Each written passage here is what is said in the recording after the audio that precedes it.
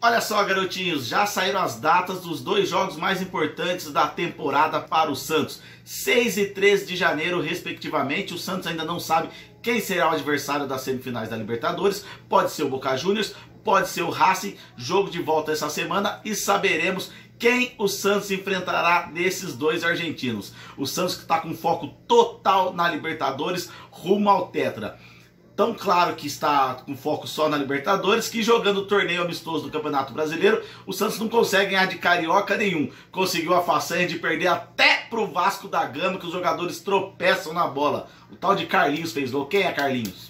Eu não sei quem é Carlinhos. Você conhece Carlinhos? Jogador? Sei lá eu fez o único gol da partida, fez mais três pontos, mas vai cair o Vasco do mesmo jeito e o Santos vai levando em banho-maria o Campeonato Brasileiro e a Libertadores é o que interessa. Ninguém liga pro Campeonato Brasileiro. Quem quer saber de ser campeão brasileiro? Eu não tô nem aí. O negócio é Libertadores. Vai para cima dele, Santos.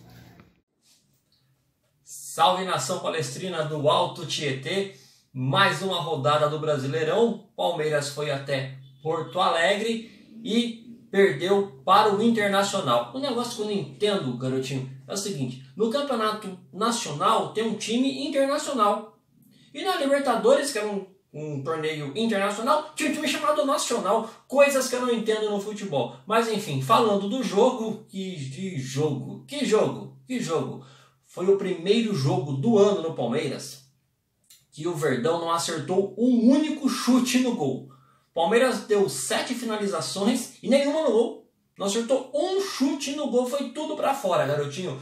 O goleiro Marcelo Lomba pouco trabalhou. Se fosse eu, goleiro do, do Internacional, o resultado seria o mesmo. Seria 2 a 0 para o Inter.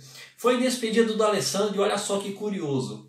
A torcida do Inter preparou uma festa do lado de fora aos 10 minutos com um foguetório. E o Inter fez 1 a 0 aos 10 minutos com o Edenilson. E aí o Palmeiras tentava, tentava, tentava. E o melhor momento do Palmeiras, sabe qual foi? Foi aos 20 minutos do segundo tempo. Tem aí, produção, mostra aí, produção. O nosso treinador jogando escravos de Jó na beira do campo. Sagrado, escravos de Jó. Tava lá jogando escravos de Jó na beira do campo. Esse é o nosso treinador Abel. E aí no finalzinho, o Yuri Alberto no contra-ataque acabou fazendo 2 a 0 e o Verdão saiu derrotado. E quarta-feira temos nós novamente pela Copa do Brasil, primeiro jogo da semifinal, jogando em casa contra o Coelho, o América Mineiro. E seguimos firmes aí agora rumo à Copa do Brasil. Avante palestra, Scopia, aquela vitória nossa. Boa semana, garotinho.